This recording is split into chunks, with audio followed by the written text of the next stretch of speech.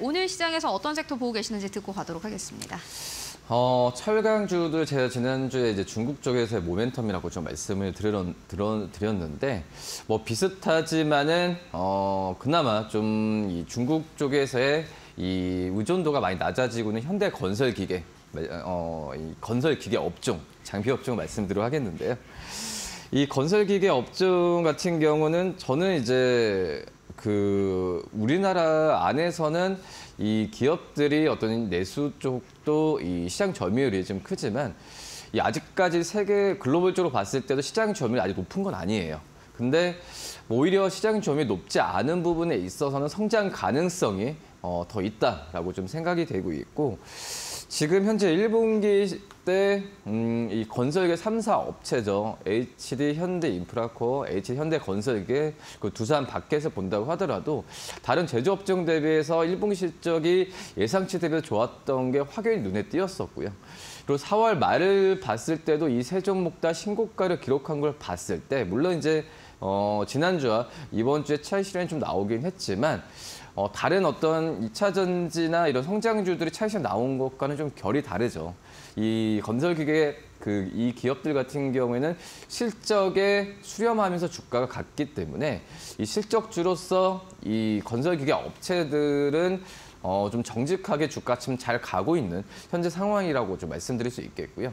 뭐 그렇게 된다고 한다면 올해 2분기 그리고 하반기 때 실적이 더 오히려 지금 추정치가 높아지고 있는 과정에서 이 건설기계 업체들이 주가가 조정을 받았을 때는 매수 관점으로 들어가도 괜찮지 않을까라고 생각이 되고 있고 이 앞서서 말씀드렸다시피 이 건설계 업체들이 그전에는 어떤 중국 쪽에서의 어, 중국과 연관한 이 주가의 변동성이 굉장히 좀 심했는데 지금 현재 같은 경우에는 북미 또 유럽 쪽에서의 이 의존 의존도라기보다도 이 연관성이 오히려 좀 높아지고 있는 과정으로 가고 있거든요.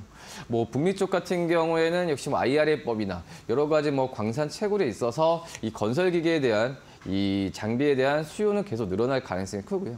또 1분기 때 원래 이 건설기가 업체들이 1분기 때 유럽 쪽에서의 실적에 대한 우려감이 좀 있었는데 오히려 지금 유럽 쪽에서의 실적이 선방을 하는 모습을 본다고 하더라도 이 하반기 때는 뭐 북미, 유럽 쪽에서의 이 수출이나 수주 부분은 더 정상화되면서 좋아질 가능성이 굉장히 좀 크다. 라고 좀 말씀을 드릴 수 있겠습니다.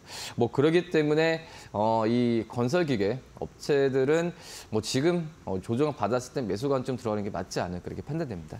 네, 알겠습니다. 건설 기계 업종, 뭐 인프라 투자와 관련해서 여전히 실적도 좋고 앞으로도 좋아질 것이다라는 전략 듣고 왔고요. 이미 기업 얘기를 들은 것 같습니다. 네, HD 현대건설 기계인가요? 네네. 어, 3사 중에 하나를 가지고 오셨네요. 그러니까 건설기 업체들 같은 경우도 그 별로 몇 개 없어요 생각보다. 어. 뭐그 안에서도 이 대형주들 중에서 이 HD 현대 건설 기계를 좀 관심 있게 봐야 되지 않을까라고 생각이 되고 있고 뭐 1분기 영업이익 1, 1분기 영업이익도 이 800억 원래는 한 500억 중반 정도 예상했었거든요. 근데 800억대 나왔는데 이 현 그 HD 현대 건설 기계 올해 어, 자체적으로 목표했던 영업이익의 거의 뭐 40% 가까이 지금 1분기 달성을 했거든요. 그만큼 실적주로서 관심을 계속 받을 수밖에 없는 구조로 가고 있다라고 말씀드릴 수 있겠고 역시 뭐 북미 시장 쪽에서 본다고 하더라도 뭐 인프라 투자나 여러 가지 좀 있겠지만은 지금 건설 프로젝트인가 비거주용 쪽에서의 그 프로젝트가 좀 확대가 되면서 이 HD 현대 건설 기계의 어떤 그 작은 건설 그 장비나 이런 부분에 있어서 수주 부분은 계속 일어날 가능성이 어, 크다라고 좀 생각이 되고 있고 또 이제 어, 원자재 가격도 이 하향 조정되는 과정을 본다고 하더라도 제가 본다고 했을 때 마진 부분도 계속 좋아질 가능성이 굉장히 좀 있다라고 좀 생각이 되고 있습니다.